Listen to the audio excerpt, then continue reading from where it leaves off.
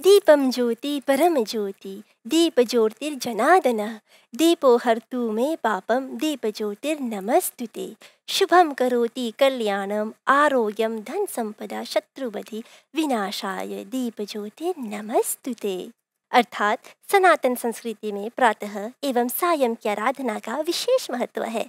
प्रातः सायं दीप प्रज्वलित कर मंत्र का जाप करने से भगवान शीघ्र ही प्रसन्न होते हैं।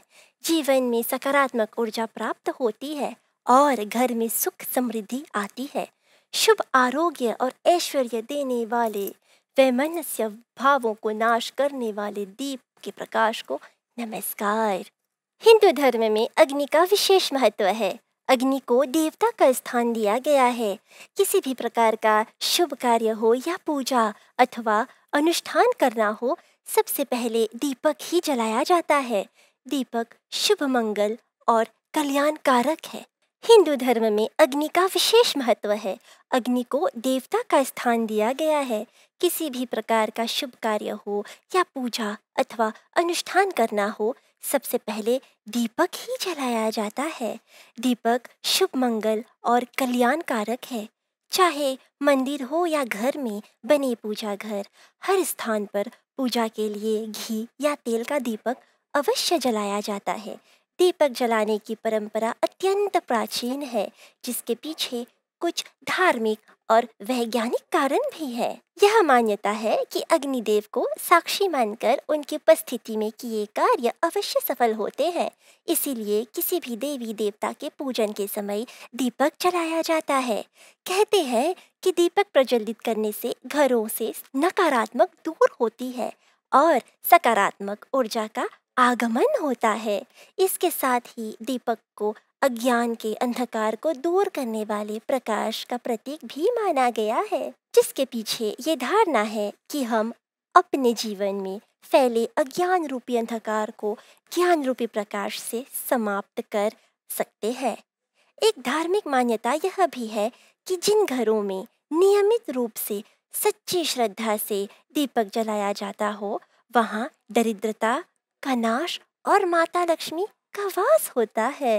वैज्ञानिक यानी साइंटिफिक दृष्टि से देखा जाए तो प्राचीन समय से ही गाय के घी से दीपक जलाने की परंपरा चलती आ रही है। इसके पीछे ये कारण है कि गाय के घी में रेणुओं को दूर करने की क्षमता होती है। घी जब अग्नि को संपर्क में आकर जलता है तो वातावरण को स्वच्छ और पवित्र बनाता है। इससे वायु प्रदूषण भी समाप्त होता है। घरों और मंदिरों में दीपक जलाने से एक स्वच्छ ऊर्जा की प्राप्ति होती है।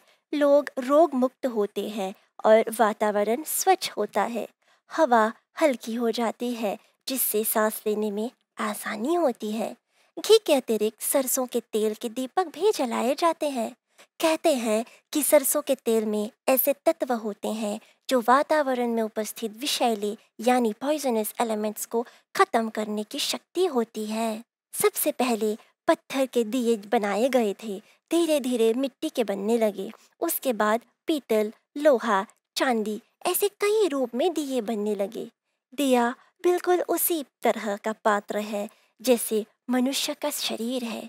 हमारा शरीर भी एक पात्र है, जैसे हम संभाल कर दिए के पात्र तैयार करते हैं वैसे ही अपनी देह को संभालना होगा।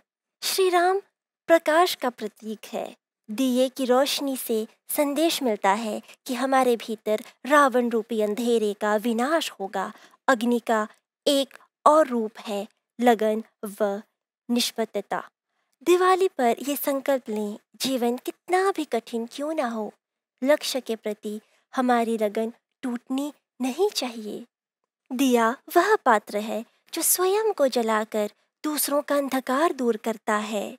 मनुष्य को भी दीपक की तरह दूसरों के जीवन में ज्योति फैलाना चाहिए और वक्त आने पर अपने लिए कुर्बानी भी देनी पड़ती है।